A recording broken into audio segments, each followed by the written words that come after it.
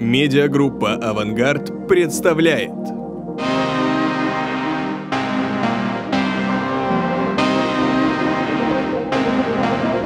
Сегодня хотел бы поговорить о системе анализа сетевого трафика, для чего вообще он нужен и каким образом мы его применяли в соках. Речь пойдет о системе Garda Monitor, которую разрабатывает, собственно, компания Garda Технологии, представителем которой я являюсь. Итак, а начнем мы с э, того, что есть определенный стандарт реагирования на инциденты. Вот предыдущий как раз спикер говорил о реакции на инциденты, что должно быть правильно выстроено. А, собственно, есть такой стандарт NIST 861R2, а, который предполагает четырехэтапную программу реагирования на сетевые инциденты. Это подготовка, как бы это парадоксально не звучало.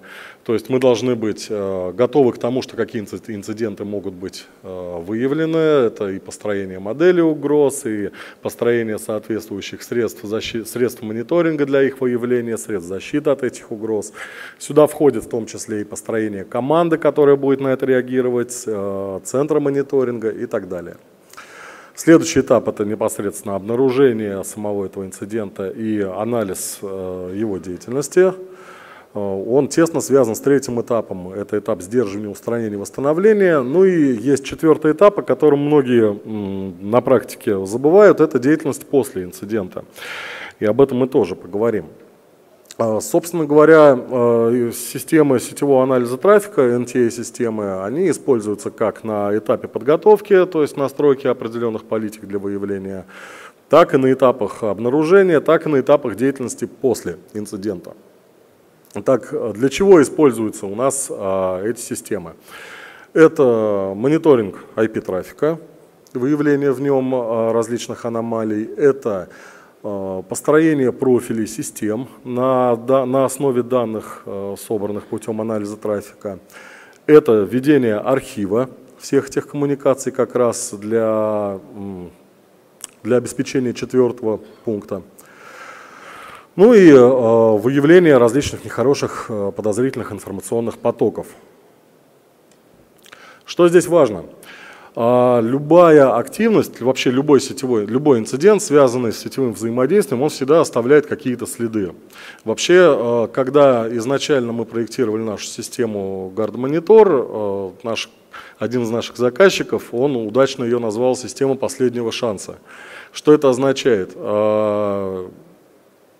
Допустим, произошел какой-то инцидент, который не смогли задетектировать другие системы. Там проникло какое-то вредоносное ПО, или произошла утечка информации, или еще что-то подобное. Но не секрет, что бывает, что системы безопасности, которые рассчитаны на выявление таких инцидентов, они это пропускают, ну, по той или иной причине. Это может быть неучтенные какие-то рабочие места, на которых не стояло агента соответствующего. Это может быть деятельность администратора, который воспрепятствовал работе соответствующих систем. Но любые а, инциденты, связанные с сетью, они всегда оставляют э, свои следы в виде а, сетевых потоков, так или иначе, которые можно задетектировать, в виде записей на сетевых устройствах. Отсюда важный вывод, что избежать этого невозможно. И по некоторым косвенным признакам в сетевом взаимодействии система может выявить инциденты. Поэтому вот наш заказчик так и назвал ее система последнего шанса. Даже когда не сработали все остальные системы, у него есть возможность воспользоваться а, анализом сетевого трафика, что произошло, чтобы восстановить картину, что произошло, почему это произошло, что сделать дальше для того, чтобы подобного не происходило.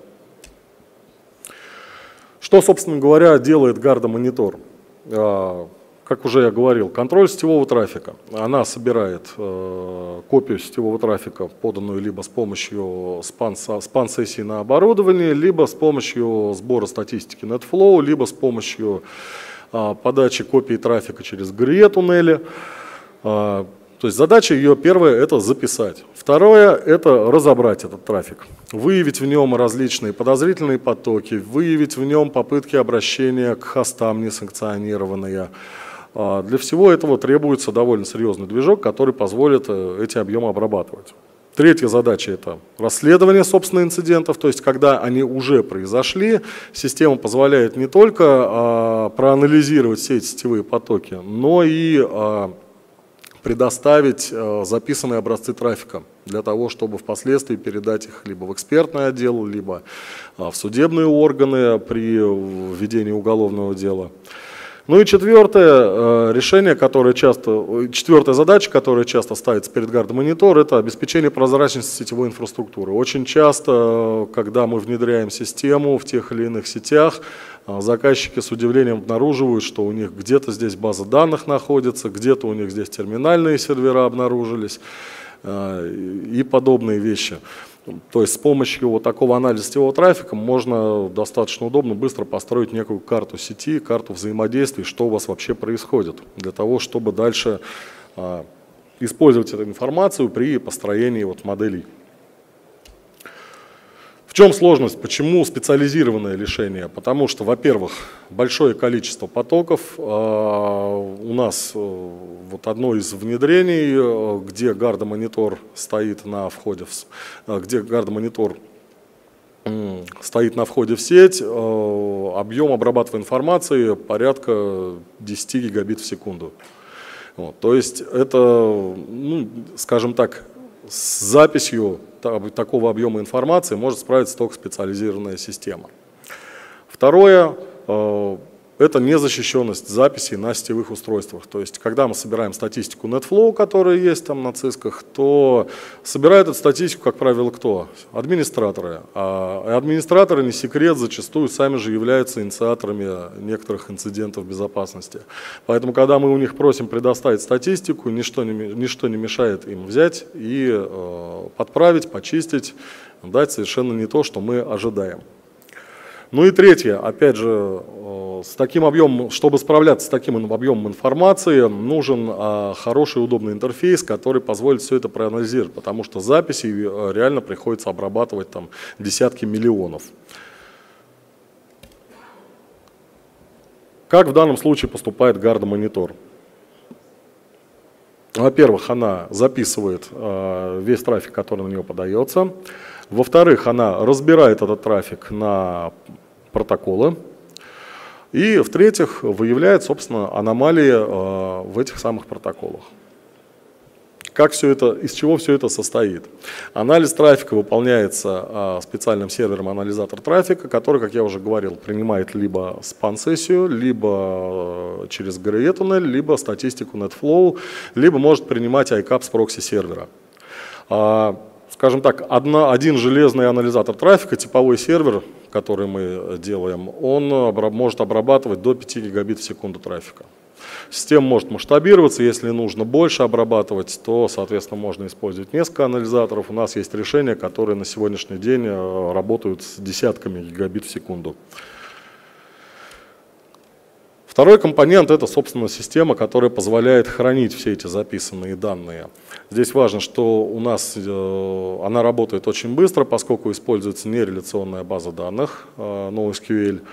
Э, это наша собственная разработка, которая позволяет, ну, как я уже говорил, быстро и удобно получать необходимый результат. Ну и, собственно говоря, сам анализ управления, это происходит с помощью веб-интерфейса, система доступна с любого рабочего места а, администратора безопасности, а, независимо от того, под какой системой он работает. Что мы, а, что мы здесь можем делать? Мы можем настраивать политики выявления различных аномалий, мы можем проводить анализ уже собранной информации, ну и в системе довольно много разных предустановленных э, отчетов, графиков, то есть любая информация, собранная системой, может быть представлена в виде графика, и э, в графическом виде ее гораздо удобнее э, анализировать. Если вот кого заинтересует, можете в перерывах подойти на наш стенд, мы в реальном времени покажем, как все это работает и как можно все это анализировать. Примеры задач, которые, вы, которые решала Гарда Монитор. Здесь у нас э, на слайде представлено несколько, я еще от себя добавлю, да, это А, выявление исходящих тор-потоков и э, другой, других даркнетов на каких-либо критических рабочих местах. То есть, допустим, DLP-система на каком-то рабочем месте не установлена была или э, кто-то ее там положил агента, или воспользовался, допустим, не корпоративным ноутбуком, но тем не менее, да, взял, слил информацию по Даркнету, все, никто ее не увидел. Но вот по косвенным признакам, что у нас появился, во-первых, неизвестный IP-адрес, который раньше нигде не светился, и появился с него подозрительные потоки. Это как раз выявление э, утечки по косвенным признакам. То же самое может система сдетектировать, например, появление в каких-то критичных сегментах сети таких протоколов, как э, Google Drive, Skybox, э, SkyDrive и так далее.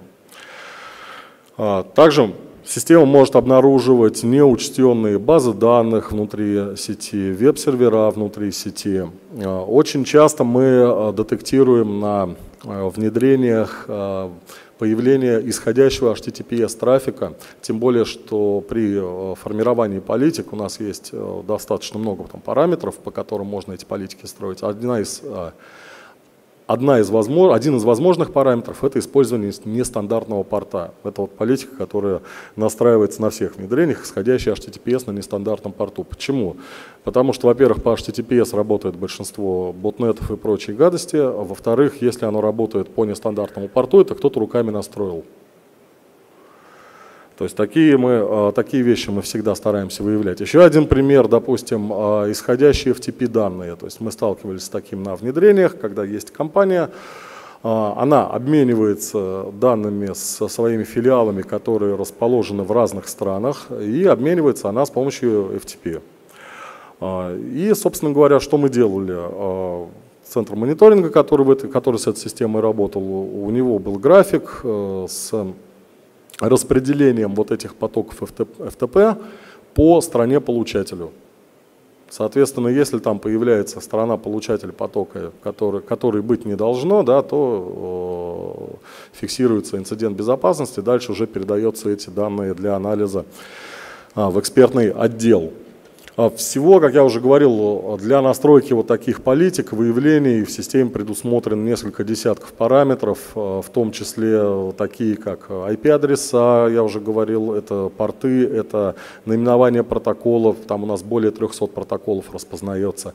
А, это содержимое потока, в том числе по ключевым словам, а, то есть внутри, внутри самой, самой нагрузки мы можем а, выделять какие-либо ключевые слова, там telnet команды, например, а, или нагрузку HTTP. Ну и также как в системе представлены у нас предустановленные политики, то есть система может быть поставлена и уже из коробки начнет работать, собирать необходимые данные. Ну, здесь еще некоторые примеры настроенных политик. Давайте далее. Аналитические возможности. Как я уже говорил, всю, э, все данные системы, все данные срабатывания политик можно представить в виде графиков, причем графики этой системы интерактивные, что значительно сокращает время на э, анализ и выявление тех самых инцидентов. Грубо говоря, мы, например, э, зафиксировали потоки Darknet с какого-либо хоста, Тут же из этого же графика перешли в данные по этому хосту, посмотрели, с кем у нас этот хост общался за указанный промежуток времени еще. Увидели там активность, например, э, по протоколам удаленного доступа, посмотрели, с какого IP-адреса был удаленный доступ, перешли к этому, перешли к этому IP-адресу, посмотрели, куда у нас с этого IP-адреса, на какие хосты были еще попытки доступа. То есть все это делается а, в интерактивном режиме и не требует от человека, который с этим работает, специальной технической подготовки. То есть не нужно там э, знать какой-либо особенный язык там, регулярных выражений и прочего для того, чтобы а, проводить такие анализы. А, кроме того, на основе статистики сетевых потоков можно строить поведенческую аналитику, э, как работают хосты, как работают определенные IP-адреса, выявлять отклонения как по наличию каких-то новых протоколов и э, участников сетевого взаимодействия, так и по количеству и объему сетевых потоков. Помимо этого, Garda монитор а, обладает возможностью сигнатурного анализа трафика и выявления различных угроз безопасности. А, угрозы безопасности поставляет наш а, отдел экспертизы, который есть у нас в компании. У нас есть э, свой собственный репозиторий с обновлениями, и система в автоматическом режиме обновляется. Вот я уже говорил про, я уже рассказывал про графические отчеты, поэтому я думаю, про них отдельно не стоит. И про интеграцию с другими системами и возможности экспорта.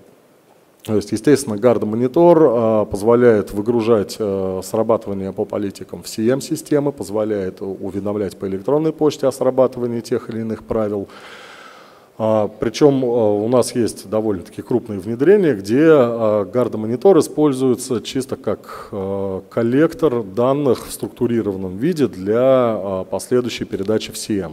Собственно, в CM мы можем передавать настраиваемые разные параметры, берет стандартные CEF или LIF сообщения и в настройках мы можем указывать, какие параметры, какие реквизиты сетевого потока мы в какие параметры CF сообщения а, хотим передавать.